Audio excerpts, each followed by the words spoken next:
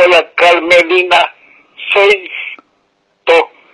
Carmelina, comunícate con, conmigo. Me estoy mal, Carmelina. Estoy muriendo. Me de, de, comunícate conmigo. Chao. Eh, ¿Me dice su nombre? Santo.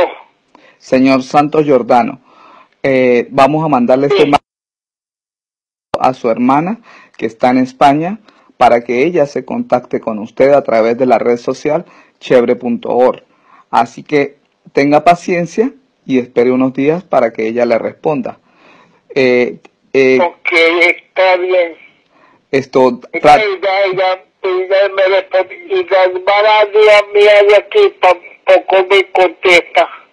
Tranquilo.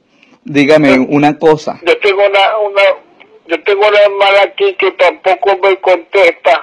¿Cómo se llama la hermana en Venezuela? Yo estoy solito, señor, yo estoy solito en mi casa, durmiendo solo, yo estoy solito.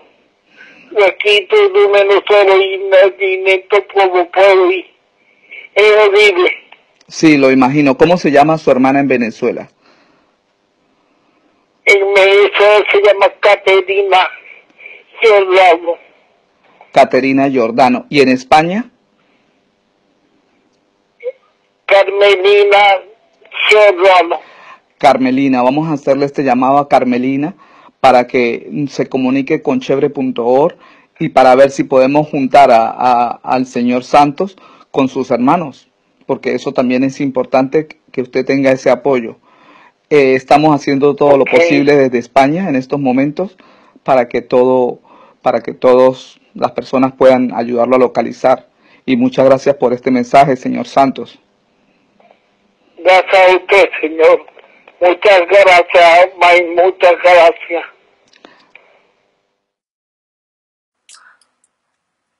El señor Santos Giordano tuvo una ACV hace un año que lo dejó discapacitado. Vivía con su mujer, quien también lo abandonó en esos momentos y no se supo nada de ella. Por crueles circunstancias en Venezuela no hay comida. Lo último que había comido el señor Santos Giordano era una sopita de cubitos Maggi y con eso se está manteniendo. Hemos localizado las dos hermanas, pero de momento no se han comunicado con el Señor. ¿Cómo podemos colaborar con Don Santos, recolectando un mercadito en Caracas para este Señor recupere las fuerzas para seguir luchando, mientras vemos más formas de ayudar? Tenemos nuestra cómplice que nos los puede acercar mientras logramos contactar a sus hermanas. Comunícate con nosotros en chevre.org para ayudar a este Señor. Muchísimas gracias, de verdad.